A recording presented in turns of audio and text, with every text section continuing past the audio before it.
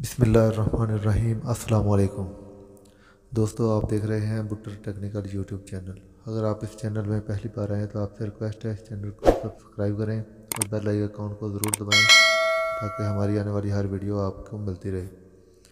आज हम बात करेंगे रोटरी कंप्रेसर और रेसिप्रोकेटिंग कंप्रेसर में क्या फ़र्क है। रोटरी कंप्रेसर, ये एक ऐसा कंप्रेसर है जो घरेलू यूनिटों में इस्तेमाल होता है बाज़ात बूस्टर सिस्टम बनाकर इसे कमर्शियल यूनिटों में भी इस्तेमाल किया जा सकता है। इस कंप्रेसर में दबाव बढ़ाने वाले हिस्सा जो होता है उसे रूलर कहते हैं, जो सिलेंडर के अंदर रोटरी हरकत करता है। इसलिए इसे रोटरी कंप्रेसर कहते हैं।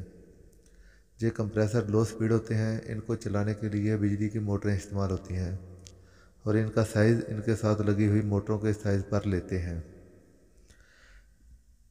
रोटरी कंप्रेसर की तीन किस्में हैं ओपन टाइप सेमी सील्ड और सील्ड लेकिन हम बात करेंगे हम सील्ड रोटरी कंप्रेसर पे, और इनमें क्या फ़र्क है?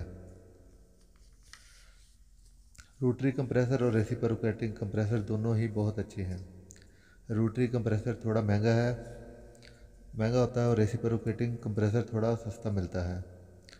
इस इस रूलर, इसमें रूलर के ज़रिए गैस का प्रेशर बढ़ाया जाता है। रोटरी कंप्रेसर में रूलर के ज़रिए गैस का प्रेशर बढ़ाया जाता है।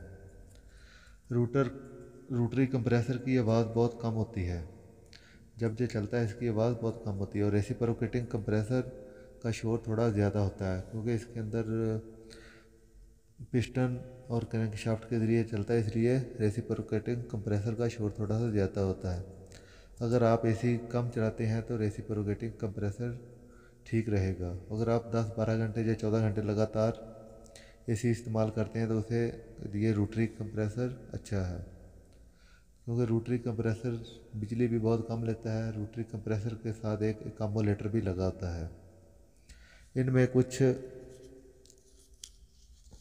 इनमें कुछ अहम फ़र्क है जो मैं आपको बता देता हूँ। आप देख लेंगे लास्ट पे आपसे लिखा हुआ मिल जाएगा।